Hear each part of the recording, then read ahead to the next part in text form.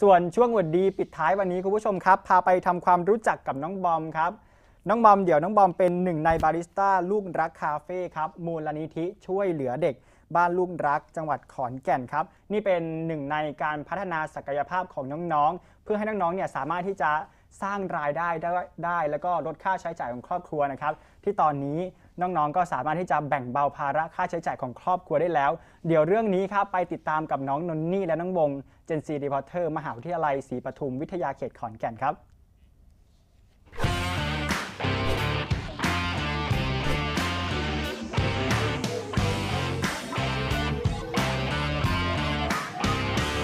ลองมาชิมมึงนะครับกาแฟที่นี่ อร่อยน้องๆทำเองสุดฝีมือครับ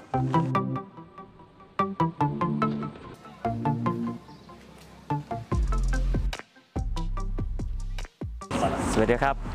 บอมครับนายอัครพลนอนอยู่ไฟมาอยู่ตั้งแต่อายุ3ขวบ ตอนนี้อายุ 22 ปีแล้วครับ ผมมักเฮ็ดพวกงานตกแต่งมองใดที่มันภูมิทัศน์มันบ่ค่อยสวยงามครับ ครับมุมใดมันควรจะตกแต่งจังไหนแน่ให้มันเบิ่งกับการที่เฮาเปิดร้านกาแฟของเฮาให้มันได้มีหมองหนานั่ง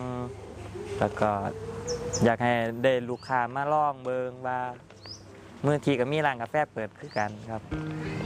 เปิดเพื่อน้องๆของเขาเนี่ย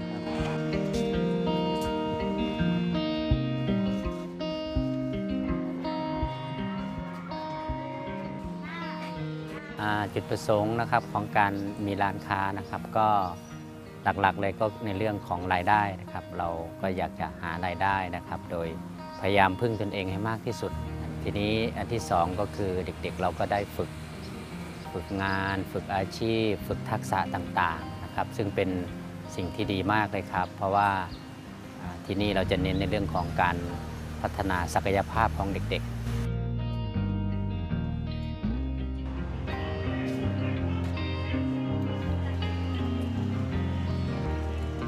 การเปิดร้านของเจ้าของมันต้องมีการลงทุนเครื่องกาแฟแล้วก็สถานที่จังซี่ครับ แต่ว่าพอเขามีโอกาสว่าเปิดนี่หนีไปก่อนได้ซอยเหลือมูลนิธิกับน้องๆหรือพ่อคู่ของเฮาก่อน แล้วก็อันที่ไปเรียนมาเฮาก็สามารถแชร์ประสบการณ์ให้น้องๆได้ เพื่ออนาคตของน้องๆเพื่อน้องๆอยากไปเปิดร้านเป็นของเจ้าของมีครอบครัวจังซี่